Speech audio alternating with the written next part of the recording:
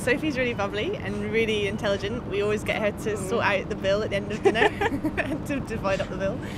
Uh, well, um, uh, Martina's great. She's always. Um, I've been on the team the longest with Martina, and um, she's always really good company, always making me laugh.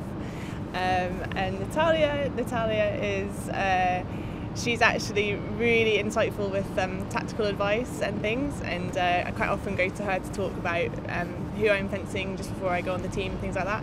Um, and just generally they're all great to be around. We all spend a lot of time to, together and I think um, we've all grown stronger as a result of this year and all the things we've gone through to get to where we are now staying focused is, is really important obviously when you're competing and I think it's going to be even more challenging with the with the home support because it's going to be fantastic but equally you can't get carried away with it all and at the end of the day you're on the piste to uh, to perform and, and, to beat the opposition. I think particularly in the team event it's really important for us just to focus on the next hit and the next hit because actually you know as long as you're disciplined and we follow the team tactics, the score should take care of itself. So, yeah, just really focusing on the process, what you're going to be, how you're going to be hitting your opponent, which moves you're doing, as opposed to worrying about the score and the kind of end result.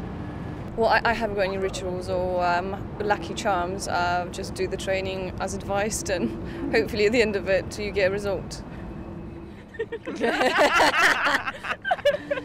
Why is it funny? I was really impressed with that. Stupid question.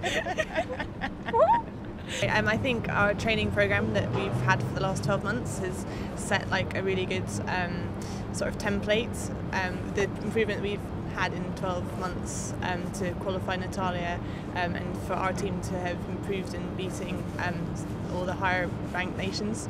Um, hopefully, like with that program, that template established now, that anyone coming through who's a youngster now um, will have that program there for them as well, and that can only be a good thing. So hopefully, yeah, we'll get some good new fences coming through.